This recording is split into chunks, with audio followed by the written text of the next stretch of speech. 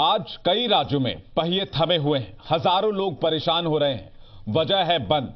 SC, ST act पर supreme court के फैसले के खिलाफ दलित संगठनों ने देश भर में बंद का आह्वान किया है। इस बंद के कारण आम लोग परेशान हो रहे हैं।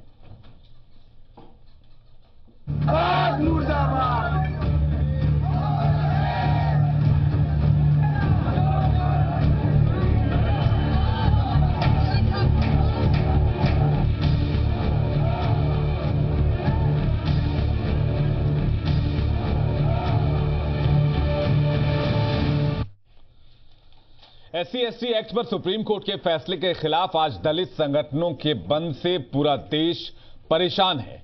बंद के दौरान यूपी, राजस्थान और मध्य प्रदेश में हिंसा की खबर है। मध्य प्रदेश के मुरैना में बंद के दौरान हिंसा में एक युवक की मौत हो गई है, जबकि दूसरे यूपी के मेरठ में बंद समर्थकों ने गाड़ियाँ फूंक दी। राजस्थान के बाड़मेर और अजमेर में भी हिंसा की खबर है। बाड़मेर और अजमेर में व्यापारियों और बंद समर्थकों और के बीच झड़प हुई है। बिहार और ओडिशा समेत कई राज्यों में बंद समर्थक रेल ट्रैक पर उतर आए हैं। इससे ट्रेन लेट हो रही है, हज़ारों रेल यात्री प्रभावित हो रहे हैं, उन्हें परेशानियों का सामना करना पड़ रहा है। बंद के कारण जगह जगह जाम लगा हुआ है, इससे लोगों को भारी परेशानी हो रही है। हज़ारों लोग अब भी ट्रैफ़िक जाम में फंसे हुए हैं। ऐसे में सवाल यह है कि आखिर बंद के नाम पर आम आदमी को परेशान क्यों किया जा रहा है? सवाल ये कि राजनीति चमकाने के लिए बार बार बंद का आह्वान क्यों किया जाता है? बिहार, उत्तर प्रदेश, मध्य प्रदेश, ओडिशा, पंजाब। राज्यों के नाम बदले, लेकिन हर जगह हंगामे की तस्वीरें एक जैसी रही। एससी, एसटी एक्ट पर सुप्रीम कोर्ट के फैसले के खिलाफ दलित संगठनों के बंद से पूरा देश जैसे थम गया। बंद का समर्थन कर रहे संगठनों के कार्यकर्ता कहीं सड़क पर उतरे तो कहीं रेल ट्रैक जाम कर दिया। नतीजा ये रहा कि पहिया ठप हो गया और लोग परेशान हुए। भारत बंद का आंदोलन छिड़ा है और आज हम भारत को भारत के पूरे चक्का को जाम कर देंगे हम लोग अपना प्राण दे करके भी आरक्षण को ज़िंदा रखेंगे ज़िंदा रखेंगे ज़िंदा रखेंगे अगर दलित समाज के लोग जाग गए तो देश का सत्ता पलटते पल नहीं लगेगा बंद के दौरान समर्थकों की गुंडागर्दी भी दिखी। यूपी के आगरा और मेरठ में बंद समर्थकों ने हंगामा किया। आगरा में बंद समर्थकों ने तोड़फोड़ की। यहाँ गाड़ियों पर पथराव किया गया, जिससे कई गाड़ियों को नुकसान पहुँचा। राजस्थान के बाड़मेर और अजमेर में भी बंद समर्थकों ने तोड़फोड़ की। यहाँ बाज़ार बंद कराने पहुँचे, बंद समर्थकों के व्यापारियों से झड़प हुई।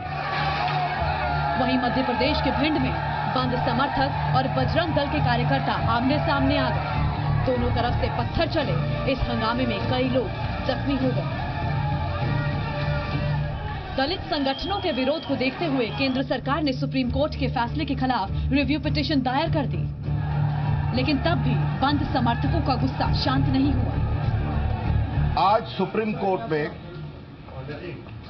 एससी एसटी प्रोटेक्शन एक्ट के बारे में जो सुप्रीम कोर्ट का फैसला आया था, उस पर हमने रिव्यू फ़ाइल कर दिया है। भारत सरकार की ओर से रिव्यू फ़ाइल हुआ है। और मैं बहुत विनम्रता से कहना चाहता हूँ कि माननीय सुप्रीम कोर्ट के फैसले के रीजनिंग से हम सहमत नहीं हैं। तो बाकी विस्तार से भारत सरकार के जो बड़े वकील हैं, वो अपनी बात रखेंगे।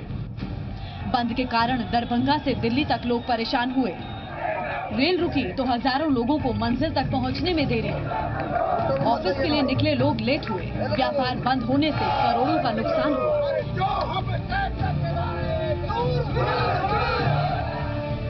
ऐसे में सवाल ये कि आखिर बंद के नाम पर आम आदमी को क्यों परेशान किया जाता? है आखिर बंद के दौरान सरकारी संपत्ति को क्यों नुकसान पहुँचाया जाता है?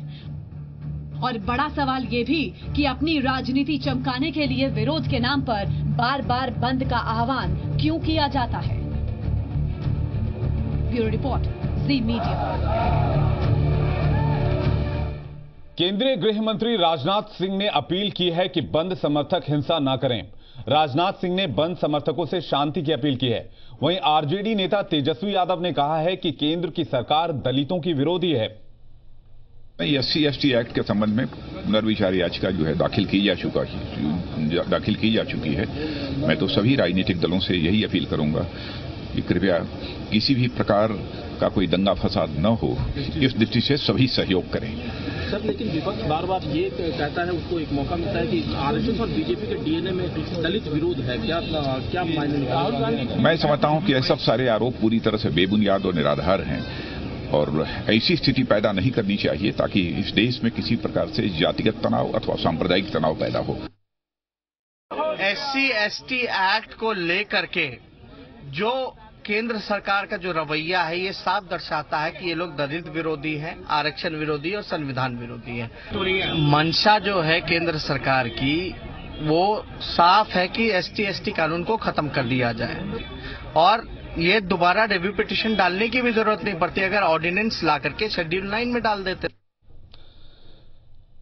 आइए डिबेट की शुरुआत करते हैं। इस डिबेट में दो राउंड होंगे। पहले राउंड में सभी मेहमानों को एक एक मिनट का वक्त मिलेगा। सबसे पहले मेहमानों का परिचय आपसे करवा देते हैं। अनिला सिंह है, बीजेपी के नेता है, यूपी बीजेपी के प्रवक्ता है, टीवी डिबेट्स में पार्टी का पक्ष रखती हैं। हमारे साथ विक्रम सिंह है, उत्तर प्रदेश के पूर्व डीजीपी हैं 1975 बैच के पूर्व आईएएस अधिकारी हैं, कानून व्यवस्था के जानकार हैं और यूपी के हालात पर पैनी नज़र रखते हैं। जॉन दयाल हैं दलित चिंतक हैं, टीवी डिबेट्स में सामाजिक और राजनीतिक मुद्दों पर अपनी राय रखते हैं। हमारे साथ बिजॉन मिश्रा हैं, कंज्यूमर एक्टिविस्ट हैं, आम आदमी से जुड़े हुए मुद्दे को उठाते हैं। टीवी डिबेट्स में आम लोगों से जुड़े राय रखते हैं। इसके अलावा हम आलोक शर्मा को कांग्रेस से जोड़ने की कोशिश करेंगे और देवाशीष जररिया, जो कि बीएसपी समर्थक हैं, वो हमारे साथ जुड़ना चाहते थे, लेकिन हमारा ये शो बंद से प्रभावित हुआ और देवाशीष जररिया हम तक नहीं पहुँच सके बंद की वजह से। चलिए, आज के पहले राउंड की शुरुआत करते हैं। सभी मेहमानों को 60 सेकंड मिलेगा। 60 सेकंड में बात, यानी कि अपना पक्ष रखें। उसके बाद बजर बजेगा और आपकी आवाज़ बंद हो जाएगी। आइए शुरू करते हैं पहला राउंड।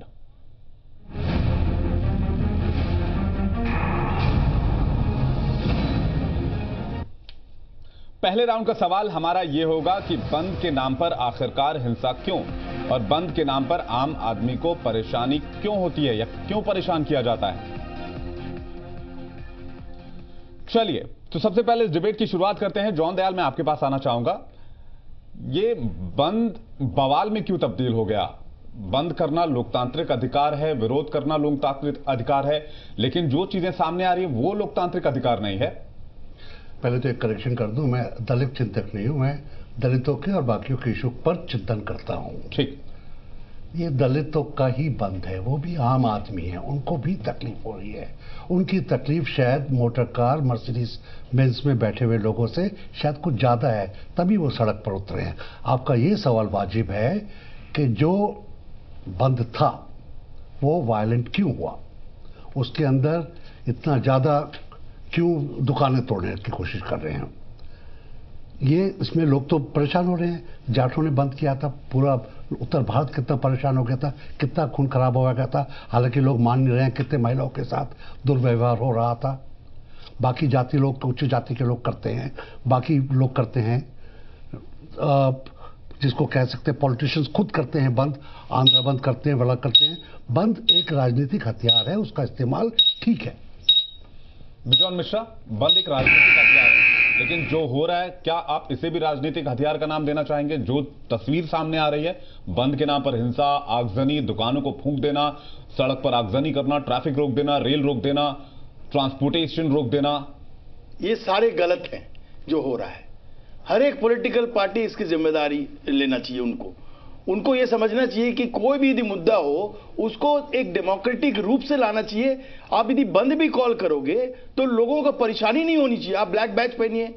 आप अपना काम करते रहिए। ये सारे जितने अनएम्प्लॉयड यूथ हैं गरीब लोगों के, जो हैं, उनको मिसलीड करते हैं पॉलिटिकल पार्टीज़ उनको हायर करते हैं। उनको इंगेज करते हैं। उनको पैसे देते हैं। तोड़फोड़ करने के लिए। उनको रास्ते जाम करने के लिए पैसे मिलते हैं। ये गलत हो रहा है। इसलिए हम लोग बार बार कहते हैं पॉलिटिकल पार्टी के जो डोनेशन जो पैसे उनको मिलते हैं, वो पारदर्शिता लाइए उसमें। आप खर्चा किस पे कर रहे हो? किस चीज़ में आप पैसे खर्चा कर रहे हो? ये सब चीज़ों में आप पॉलिटिकल पार्टी के नाम से आप जो पैसे वसूलते हो लोगों से, आप इसी पे, इस ढंग के काम में खर्चा करते हो? ये सही है? ये बहुत गलत है। आप सोचिए कि हमारे प्रॉपर्टी को आप नाश कर रहे हो। आप हमारे रोज़गार को आप नाश कर रहे हो आप हमारे डे टू डे लाइफ को आप बिल्कुल। एक परेशानी में डाल टैक्स पेयर जो पैसा देता है जिसे राष्ट्र निर्माण होता है जिसे चीज़ें बनती हैं उसी को नष्ट किया जा रहा है यानी कि अपना ही नुकसान किया जा रहा है। चलिए अनिला जी मुझे ये बताइए आज कांग्रेस अध्यक्ष राहुल गांधी ने कहा कि आरएसएस और बीजेपी के डीएनए में है दलितों का विरोध करना। विवेक जी अगर हम जो हमारे हरिजन भाई हैं इनके इतिहास में जाएँ तो पैंतीस सौ साल से भी ज़्यादा हो गए हैं इनके ऊपर एट्रोसिटीज या मैं कहूँ अत्याचार होते हुए। इसमें कोई दो राय नहीं है कि जब एक रिएक्शन होता है तो कहीं ना कहीं उस दबाव में रिएक्शन होता है। और हर एक्शन के ऊपर रिएक्शन होता है। एक्शन ये हुआ कि सुप्रीम कोर्ट का एक वर्डिक्ट आया। रिएक्शन होना वाजिब था। उसका रिएक्शन ये था कि रिव्यू पिटीशन दायर हो जाती। पर हुआ क्या? हुआ ये कि राजनीतिक दल जो है उसमें इन्वॉल्व हो गए, अपनी राजनीतिक रोटियाँ सेकने लग गए। और ये जो तमाम चीज़ आज हो रही है, भारत बंद में आपने भी देखा होगा। लोगों में इतना कंफ्यूजन है कि उनको यही नहीं पता कि वो किस मुद्दे पे सड़क पर आकर दुकानों को तोड़ रहे हैं या नारेबाजी कर रहे हैं। आरक्षण के विरोध में कर रहे हैं S C S T act के विरोध में कर रहे हैं या सुप्रीम कोर्ट का जो ऑर्डर आया है उसके विरोध में कर रहे हैं। तो ये साफ़ दर्शाता है कि किस प्रकार से राजनीतिक दल जो है वो कहीं ना कहीं भड़काने का कार्य कर रहे हैं और भावनाओं के साथ खेलकर ना केवल वो हमारे जो दलित भाई बहन है उनके ठीक है आपका वक्त खत्म हो गया। मैडम आप भी राजनीतिक दल ही हैं। इस बात को भी आप याद रखिए कि बीजेपी जो है वो भी एक तो राजनीतिक दल दायर कर दी ना। बिल्कुल ठीक है। तो रिव्यू है, पिटीशन दायर करी बाकी राजनीतिक दल क्या शर्मा कांग्रेस अध्यक्ष राहुल गांधी ने कहा कि जो हो रहा है हम उसका समर्थन करते हैं। उन्होंने ये नहीं कहा कि जो हो रहा है उनका समर्थन करते हैं विवेक जी। इस इस तरह की पत्रकारिता ना करें आप। राहुल जी ने कहा कि जो बंद है, हम उसका बंद का समर्थन करते हैं और बंद जो है वो लोकतांत्रिक हथियार है। बंद के अंदर हिंसा को ना हम सपोर्ट करते हैं, ना कोई और दूसरा दल सपोर्ट करता है। लेकिन दुर्भाग्य यह है कि जहाँ जहाँ पर बीजेपी की मैक्सिमम जगह स्टेट्स हैं, वहाँ का पूरी तरह से उनका इंटेलिजेंस फेलियर रहा कि किस तरह की चीज़ें हो रही हैं। यहाँ तक कि जो डिवाइड एंड रूल आरएसएस की पॉलिसी रहती है, वो अपने एजेंडे पर काम कर रही है। भिंड के अंदर मध्य प्रदेश में अभी बजरंग दल और दलित कार्यकर्ता लड़ रहे हैं। बाड़मेर, राजस्थान में करनी सेना और जिस तरह से वहाँ पर दलित समुदाय के लोग लड़ रहे हैं ये बीजेपी के शासन के तमाम राज्य हैं। हम केवल ये जानना चाहते हैं आप दलित विरोधी इतने क्यों हैं? आप आप रिव्यू पिटीशन फ़ाइल करने में आपको तीन महीने क्यों लग गए? पहले रिव्यू पिटीशन फ़ाइल क्यों नहीं की? पहले जब केस चल रहा था तो पक्ष प्रॉपरली क्यों नहीं रखा? आपके सांसदों ने जब आवाज़ उठाई तमाम डेलीगेशन राष्ट्रपति से जाकर मिले ठीक है। आपने इतना लेट क्यों किया? आपका यह आरोप है बीजेपी पर। ठीक है, आपका वक्त खत्म हो गया। आलोक शर्मा, मैं मैं आपके पास दोबारा आऊँगा। विक्रम सिंह है जो कि डीजीपी रहे हैं उत्तर प्रदेश के और इस तरह के कानून व्यवस्था के हालात पर उनकी पैनी नज़र रहती है। विक्रम सिंह जी, ये जो तस्वीरें आप देख रहे हैं, इसे किस तरह से आप इस पर प्रतिक्रिया देंगे, जो पूरे देश से बंद की जो तस्वीर और हिंसा की तस्वीर आ रही है?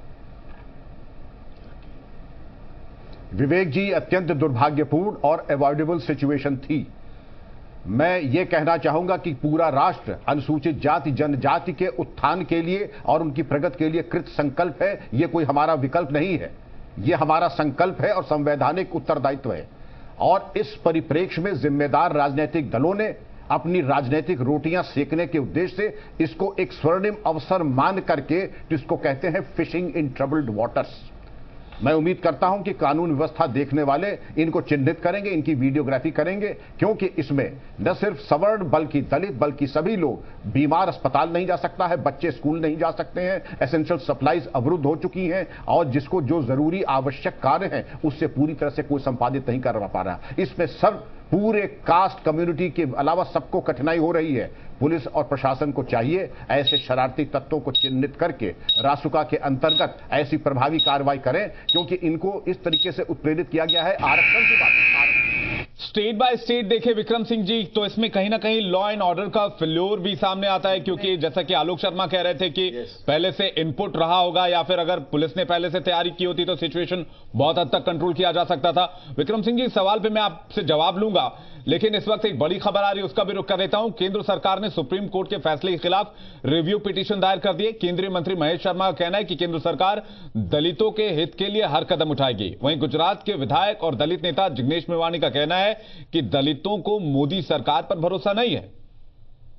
देखिए, भारत सरकार शेड्यूल कास्ट, शेड्यूल ट्राइब्स के हित के संरक्षण के लिए संकल्पबद्ध हैं और इसमें कोई दो राय नहीं। हम उनके हित के लिए जो भी संभव होगा करेंगे, क्योंकि मामला अभी सुप्रीम कोर्ट के आदेश के अनुसार है तो अभी कोई कहना, बात कहना उचित नहीं हो। और हिंसा दलितों के ऊपर दिन प्रतिदिन पिछले चार पाँच सालों के दौरान इतनी बढ़ गई है कि हर 18 मिनट में पहले एक एट्रोसिटी की घटना होती थी, अब हर 15 मिनट पे होती है। भारत में हर रोज चार दलित बहनों के ऊपर बलात्कार होता था वो छह दलित बहनों के ऊपर बलात्कार होता है। तो अस्पृश्यता और कास्ट वायलेंस इन दोनों को डील करने में, इस दोनों को खत्म करने में केंद्र और सारे स्टेट की गवर्नमेंट बाकी पार्टियों के राजनेता राजनीति तो कर रहे हैं, लेकिन किसी की तरफ़ से अभी तक ये अपील सुनने को नहीं मिला कि देश में शांति बरकरार रखें और इस तरह के हिंसक प्रदर्शन से किसी को कुछ नहीं मिलने वाला।